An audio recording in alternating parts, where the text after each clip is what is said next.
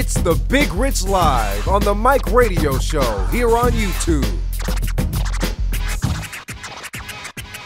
The real news and strong opinions given here. A platform to chop up game with the family, you dig?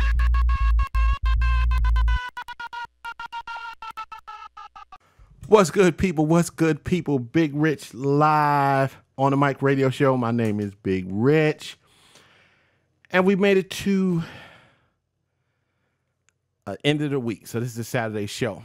First, I need to let you let you guys know. I need to let you guys know in and on a little secret. It ain't Saturday. I'm doing this the day before because I'm not going to be able to do it on Saturday. I have a track meet to shoot and a um, and family day for the Dueling Dragons to uh, videotape. So I won't. I will not after being out in all that hot and heat and sun and all that. I'm not going to want to come home and do the show. So that's why I'm doing the show today. So I'll just let you know that.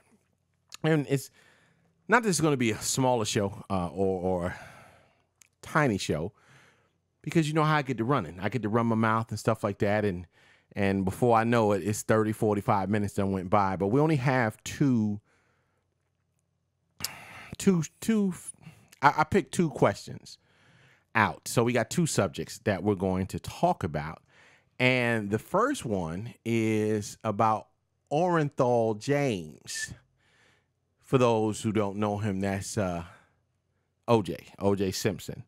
He was just granted parole and a lot of people going ape shit. Okay. First, let me let me give you my opinion of OJ. Fuck OJ. I curse. Sorry, that is what it is. But I say F OJ because OJ, when he was on top of his game, said F the black community. There is a famous quote of OJ, Orenthal James Simpson, saying, I'm not black, I'm OJ. Okay. I don't care. A lot of people, a lot of people that looks like me are mad because he, you know, he he dated exclusively white women and I, whatever. You know, it is what it is. You know, I mean, you know, you have a a big push from a lot a lot of people in the conscious community saying that that's wrong. You can't be pro black and and lay white. That's that's the same.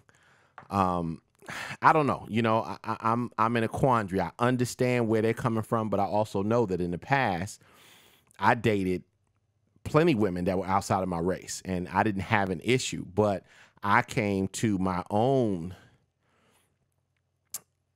inner decision that I needed to be with uh, a black woman to better understand me. That was just all in my struggle as an African American man. You know, now I know some people sit up there and say, you know, that, and I know it's going off on a tangent, but you guys have have chopped back and forth and you know on Twitter and stuff like that about this subject.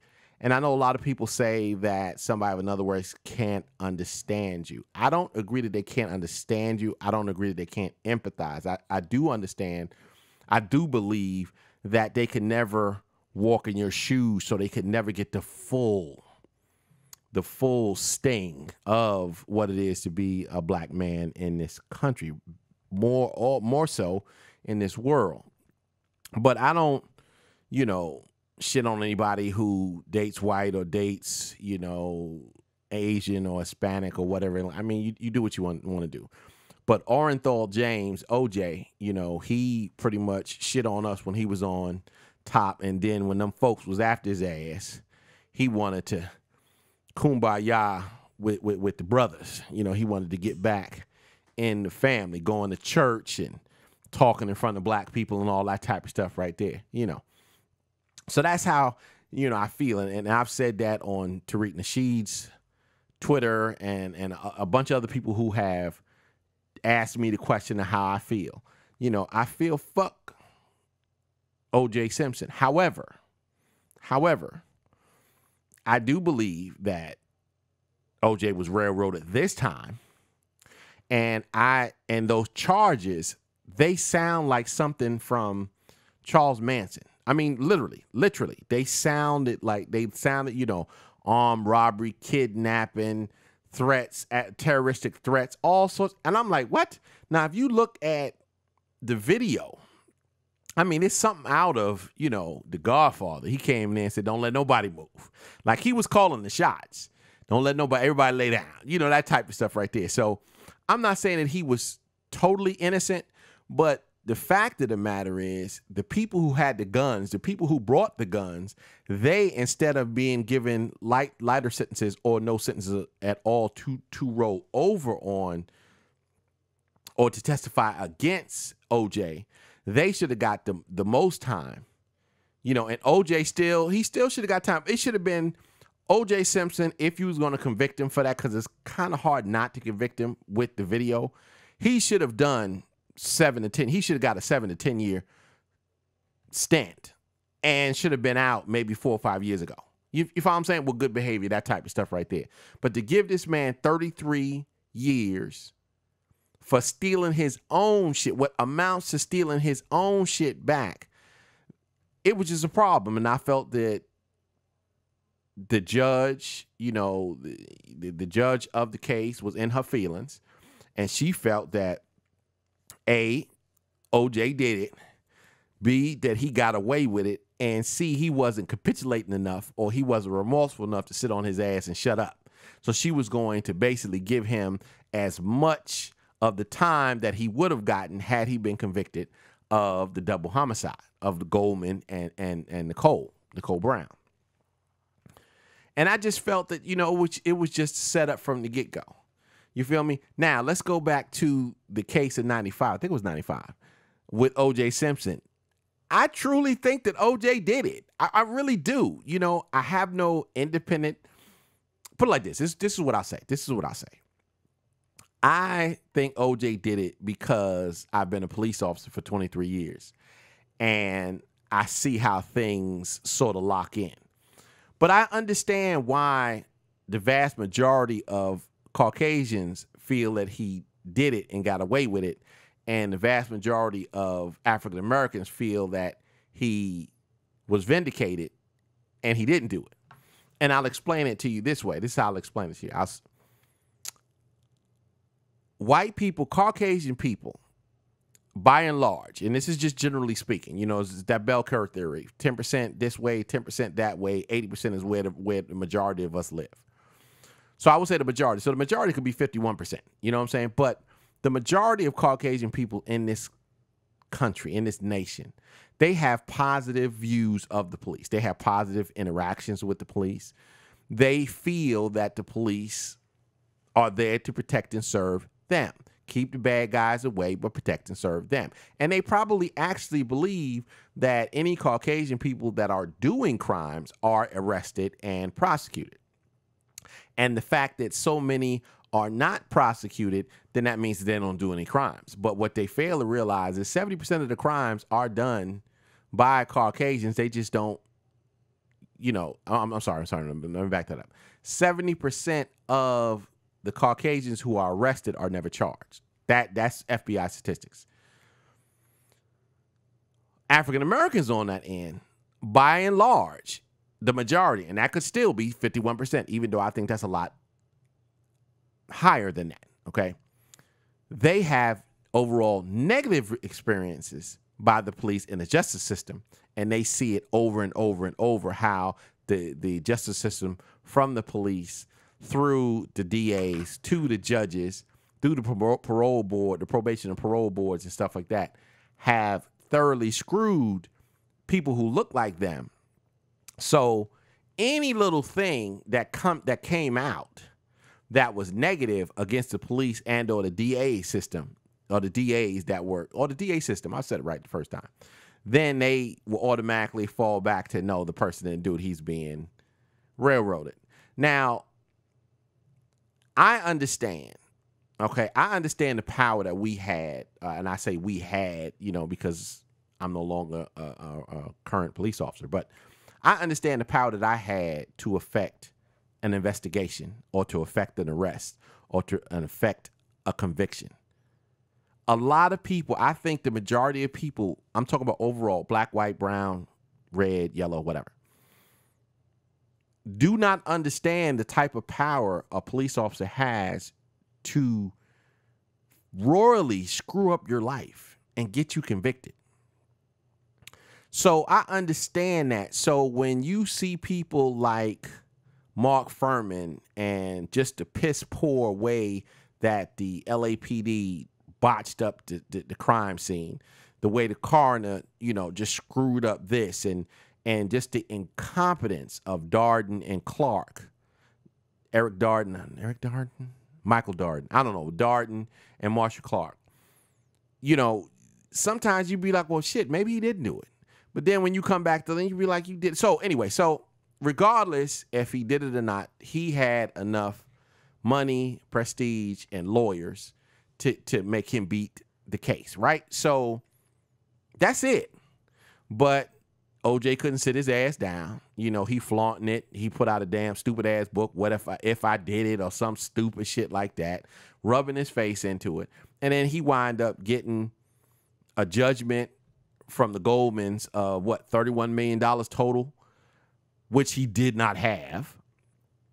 So basically all his memorabilia and all that type of stuff is gone, you know, and you know, Mr. Goldman is just going to to stalk him, you know, everywhere he goes or you know it, it it's kind of it's kind of weird and sickening and sad but it is what it is so then he gets this case and he gets the book thrown at him if you look at that case and i'm not talking i'm not going to sit up here and say if it had been a white man or a white woman i'm talking about anybody else other than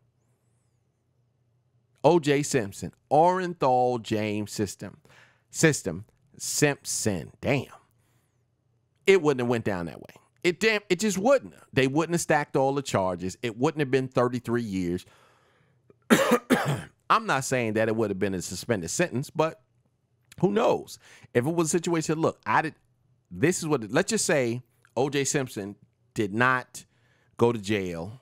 You know, Nicole Brown, system Simpson, and Mr. and young Goldman never were murdered or anything like that, or they were murdered and somebody else was convicted. You know, he was never a suspect, like that. Do you think that O.J. Simpson would have got 33 years? Do you think he would have even got convicted if he had a came and said, "Look, somebody broke into my stuff. You know, I found out that this one of my boys came and told me that my that this dude is selling my personal shit, and we went down there to see about it." I didn't know that these fools had no guns or no weapons. I came in there. I was pissed off. I was stupid. Yes, I was stupid. I should have called the police. But they came up to me. I saw red. People are coming stealing my shit that I work hard for. You know, I mean, he still might have been convicted. But again, do you think he would have got 33 years had he not had the past that he had? You feel me?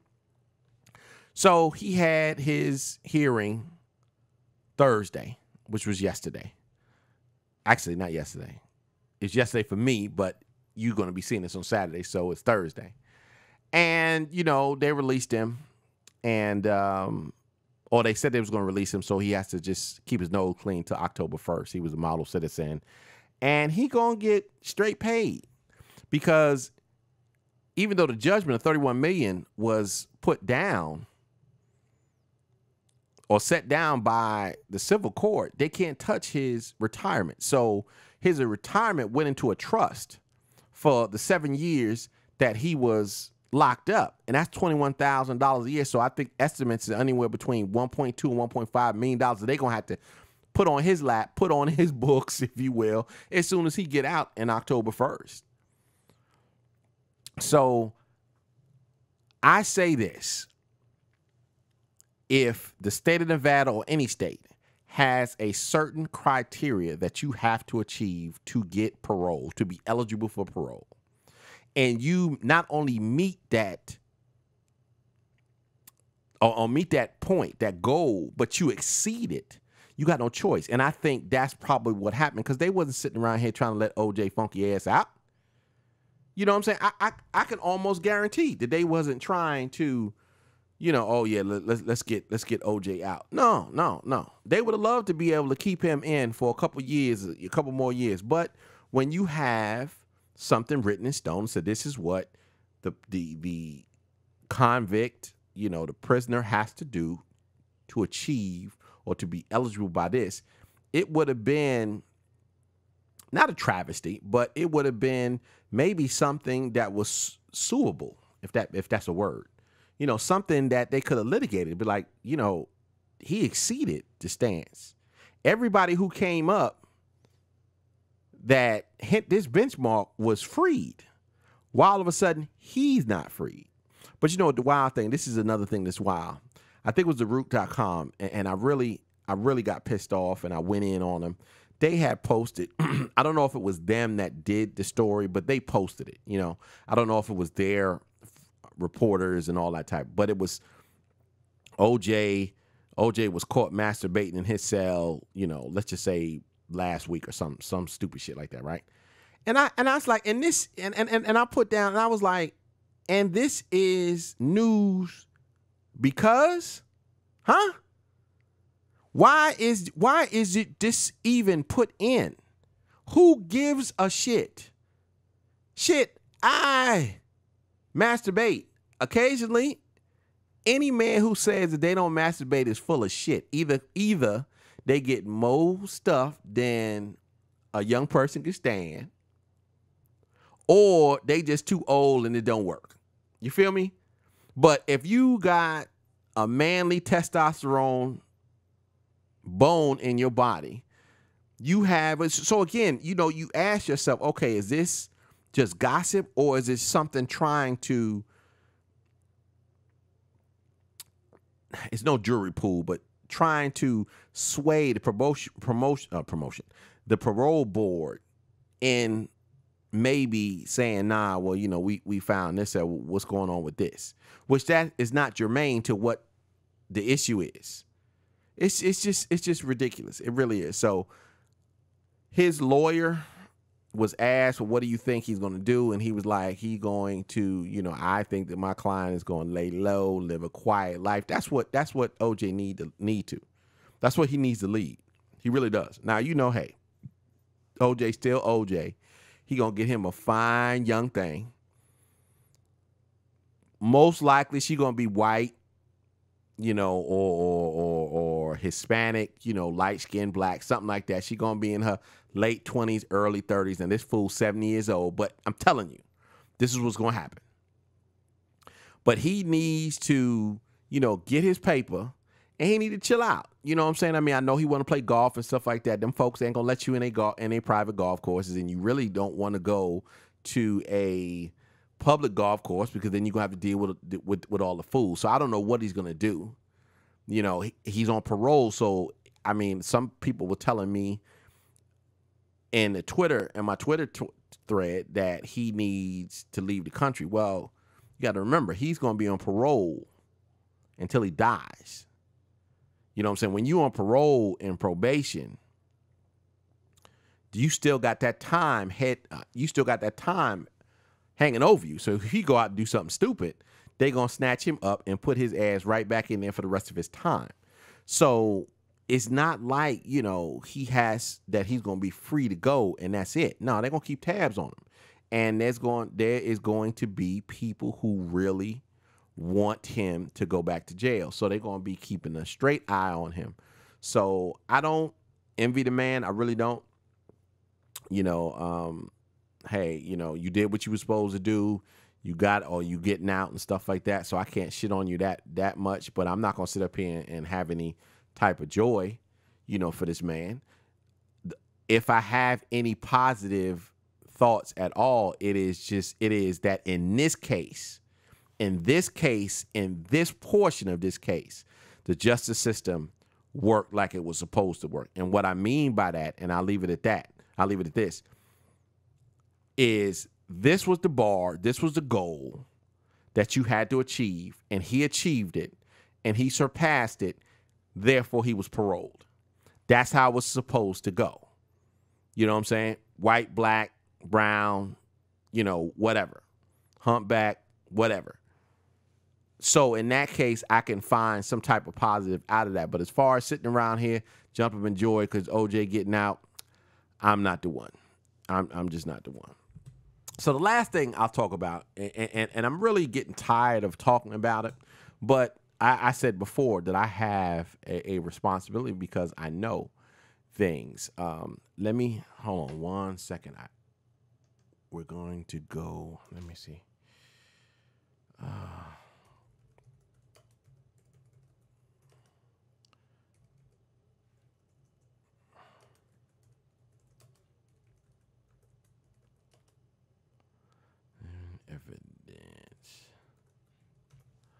Okay. Um, somebody sent me this. Uh yeah, there it is. There it is. Here it is. Right here. Got it. Baltimore. You know, there's certain there there's certain agencies that I'm not going to say need to be disbanded because because you can't do that. You can't disband disband or disband. There's disband. You know, NYPD, LAPD, CPD, you know, uh, which is Chicago PD, Boston PD, Miami. They just too, you know, it'd just be anarchy. But these agencies, and, I, am picking on large agencies because I know small agencies are probably a lot of times worse, right?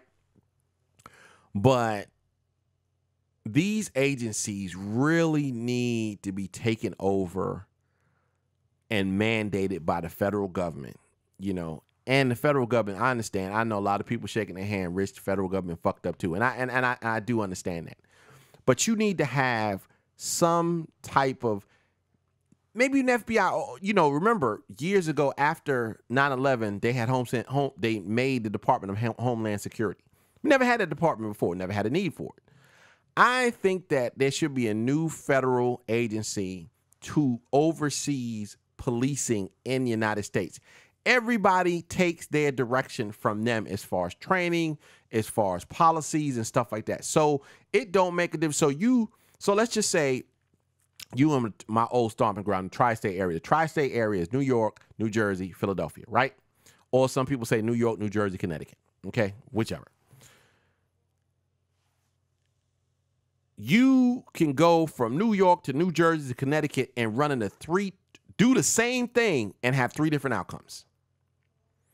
You know, and I understand states' rights and I understand every state wants to have their individualities and stuff like that. And that's true you could have your individualities the way you cut your grass.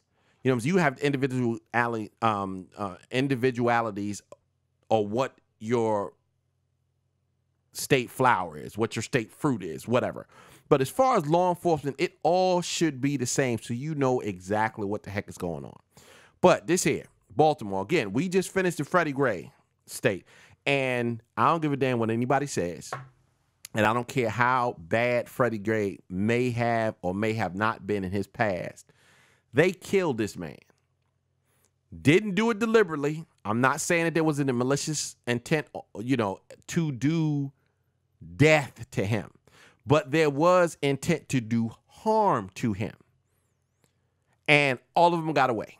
You know, it was it, it was it was a backlash. It was a backlash. You had an African American DA who tried to do the right thing and charge these race soldiers, even though there was two blacks, charged them with what they needed to be charged with, and she got hit, blindsided by this blue wall. So I digress. But now you have this come out in Baltimore police. So I'm going to read this. It says Baltimore police have launched an investigation after body cam footage emerged, allegedly showing an officer planting drugs. Released by the public defender's office, the, foot, the footage filmed in January shows an officer placing a bag in a can, which lying in which was lying in a lot filled with trash. Two fellow officers are seen witnessing the action before they leave the lot. Upon leaving, the audio begins with the officer identified identified as the public defender, identified by the public defender as Richard uh, Pinheiro, saying, "I'm going to go check." Before re-entering the lot where he discovered the previously planted drugs. The audio kicks in 30 seconds after the video begins, indicating that the officer did not switch off the camera and or did not switch on the camera until after he had left the yard the first time. After 30 seconds of video, excuse me, after 30 seconds of video is automatically saved in the body cam prior to the device being activated with audio omitted. The statement from the public defender, they claim Pinheiro is a um, is a witness in 53 active cases. The cases in which the video is being is being used as evidence was dropped, with no decision made on the others. We have long. This is a quote. We have long supported the use of police body cameras to help identify policeman conduct. but such footage is meaningless if prosecutors continue to rely on these officers, especially if they do if they do so without the close, disclosing their bad acts. This is Debbie Katz Levi, head of the Baltimore Public Defender's Special Litigation Section. Speaking to the Baltimore Sun Police Department spokesman T.J. Smith said an internal investigation has been launched into the incident. And I can report that this officer has been suspended, suspended with pay. You know how, how that goes.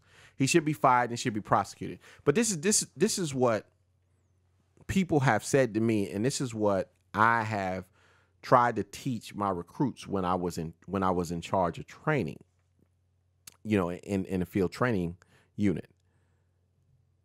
When you have one bad apple and is and is nothing done with it, if you put one bad apple in a barrel, it will affect the other bad apples. And this is another thing that I've learned. We've had people and the PD that has been that have been fired for misconduct, right? And then you sit around and you think you be like, hold on, hold on. This ain't the only person, or the this ain't the only person that's done this misconduct. This person did not design this system of misconduct. This person was taught, was shown how to do this. So, this guy here, Pajero, Pen, Panhero, He's not the first dirty cop on in this unit. Look at him. I mean, he looks young. He looks like he's a young Caucasian male. He didn't just decide to plant evidence. He was taught by a veteran officer somewhere down the line this is how you do it.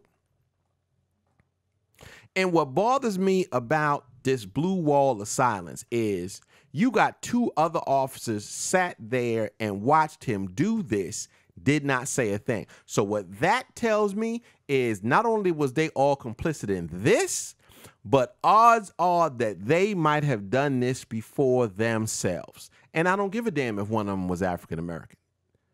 I don't care. I don't care. When you talk about this type, so that's 53 cases. So if you add this case, that's 54 defendants that may or may not have been wrongfully convicted, or at least if they haven't gone to, to, to, to jail or not to jail, if they haven't gone to trial, have at least may or may not have been arrested wrongfully. How do you do this? How do you, I mean, really, really and truly, how do you lay up uh, lay up in your bed how do you sleep at night when you know that you planted evidence on somebody whether you believe that the person is dirty or not do your freaking job and find something on this person and if you're not smart enough or quick enough or know know enough is still smart enough to catch them hey that is what it is i'm telling you my first six seven years of the police force used to try to chase everybody Used to run. Yes, I used to run. I know a lot of people like, man, your fat ass. No, I, I hey, one of these days I'm gonna put a picture. I, I gotta cross out, you know, block out my my other squad members because they haven't given me permission to be on the show. But one of these days I'm gonna show you how skinny and and just straight in shape I was, you know, in my first half of my career. I was a motherfucker. I'm telling you. Anyway, I used to chase. Then after a while, I started. I'm like, dude, I'm gonna do my job, but I'm not gonna chase you wrongfully and cause a cause a wreck and kill somebody or maim somebody, an innocent person, because my ego got in the way. Or I'm not gonna chase you up there and get, you know, blow out a knee, blow out an Achilles, get hit by a car, get hit by a train, this type of stuff, right? Chase after your funky ass? No. I'll catch you because I know who are. I catch you. Eventually, I have the evidence. And if I got your name, if I know your name and your date of birth, like you giving me your ID and then you found out you got a warrant, you took off, okay, that's cool. I'm gonna try to find you. I'm gonna use the dogs and try to find you and all that, but that's fine. I'm right after that. If I can't find you, I'm gonna go back to my office or in my patrol car at that particular time. I'm gonna pump out a warrant, find me a judge to find it, and eventually your ass gonna be caught. I say that to say this. We don't know how deep this goes. We don't know if they have quotas because a lot of, believe it or not, a lot of specialized units have quotas because what that is, I'm not gonna sit up there and say the only reason they have quotas is to fill up the, tr- the prisons and all that. Because I mean, we, you know, I'm not saying that police is the smartest people and, and t- to think that far ahead. But you justify, you need to justify your existence from the squad on down. You need to justify, like, okay, if if if I'm on, let's say DED, that's the, the Drug Enforcement Division, right? And I'm doing everything by the book, and if if if I don't see it, I don't don't arrest. If I can't put it in somebody's hand or in somebody's location, I don't make an arrest. Okay, I made three arrests this month, but everybody else on the squad has made 40 arrests, which which most of them were planted or or circum you know circumstance where I just articulated it right, but you know you ain't see shit. Basically, you just lied. Who's going to who's going to be the one to get booted? Me or them? Me. So a lot of times I do things, and this is not me. I'm talking if I'm that one officer. Sometimes you get caught up into that and you just, hey man, it's it's cool, it's cool. Look, he was dirty. You know he dirty. You know he dirty. They just finished saying he was dirty. So we didn't find it. That's fine. We'll put some shit on him and get his ass the hell out of here. It will help the community. That type of shit. So I, it's disgusting. You know, I said on Twitter that, you know, all of his cases, all of his cases should be dismissed immediately. He should be fired and he should be brought up on charges. Now, you in you in Baltimore, you know, depending on where they get Baltimore City, and you think about it. In Baltimore, this is this is how you get around shit. When you know you in a predominantly African American city, right? And you understand that the city want to make an example of you because they can't stand you and your organization. What you do is you have a bench trial. So you have a bench trial. And the wild thing is, a lot of people was tripping and all of that type of stuff about what I er, said earlier about the Freddie Gray cases. People don't. People, a lot of people don't know the judge was black. That wasn't a white judge that dismissed those cases. That wasn't a white judge. That was a black judge the biggest proponents of white supremacy are black people. Do not do not get it twisted. Because you cannot it's just like if we go back to Bible times. And you know I am not a Bible thumper, but I'm just saying. When Pharaoh set loose the Jews, right? It was because Moses did a whole lot, but it was because the Jews was rebelling against them. So when you have a situation where you no longer have control, that's when you got to capitulate. You got to push them out. You got to move them. So if African Americans, if Latin Americans, if black and brown people were not to delve into it, would not believe it, would not follow it, be like, hell no, you're not better than me. It'd be bloody. It'd be hard. But white supremacy would not be able to survive.